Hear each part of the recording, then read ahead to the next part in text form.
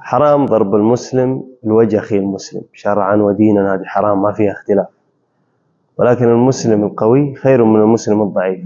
عشان كذا ممارسة الملاكمة كلعبة كرياضة كتقوية النفس بالعكس لعبة جدا سليمة ولعبة جيدة.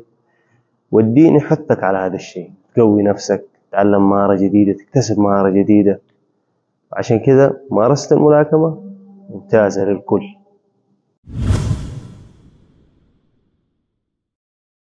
الملاكمة تقوي الثقة بالنفس بشكل كبير. يعني أي ملاكم يكتسب الشجاعة يكتسب القوة يكتسب المهارة اللي تمكنه إنه يواجه أي خوف. يعني يعاني منه أو قد عانى منه سابقا.